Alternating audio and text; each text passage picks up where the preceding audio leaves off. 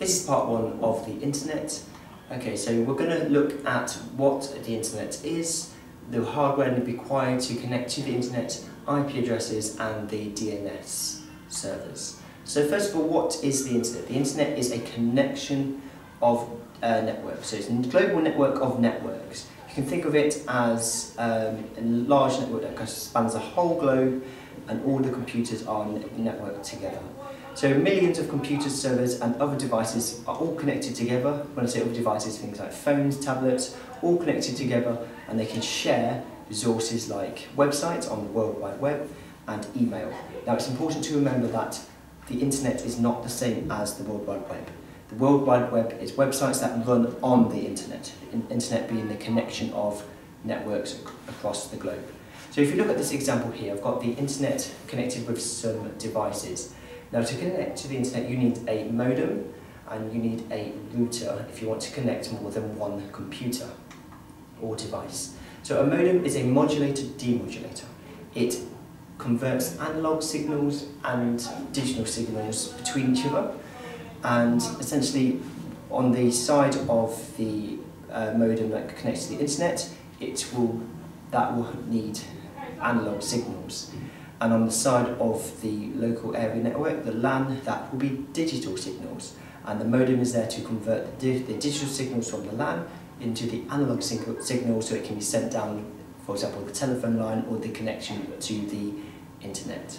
Now, a router is used to forward packets between networks. So if I go back to this slide here, you can see that the laptop is connected to the wireless router, the wireless router connected to the modem, and that to the internet. Now, routers can be wires, wired or wireless, it doesn't matter.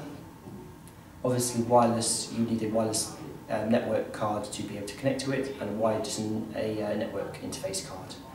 Now, a router will send packets towards the destination. So if the laptop requests a website, that request will be packaged into a packet, or several packets I should say, and those packets will go to the router, the router will pass them on to the modem which goes to the internet, and when the web server returns the website back in the packets, packets will go to the modem, to the wireless router, and then the router will send it to the laptop.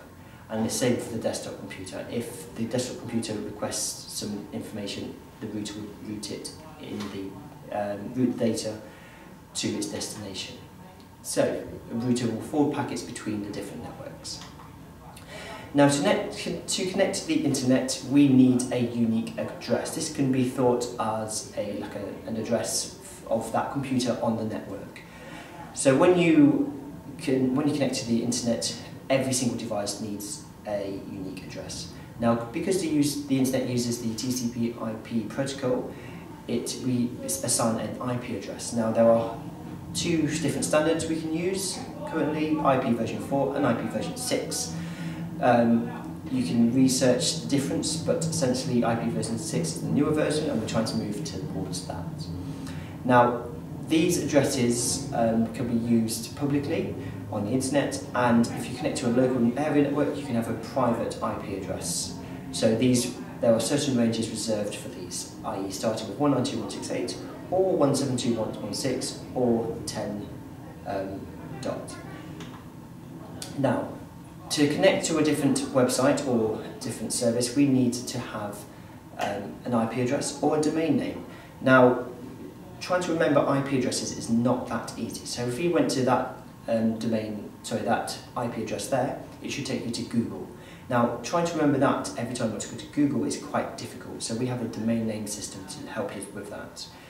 A domain name system lists all domain names and helps translate the um, domain name into IP addresses so the computer can understand where you, to go to or from, uh, but makes it easier for humans to remember the addresses. Okay, so if you need any extra um, revision, you, I'm going to link to the BBC Bitesize website where it's got some more information about the internet and also you can watch the videos from the Cambridge GCSE Computing website.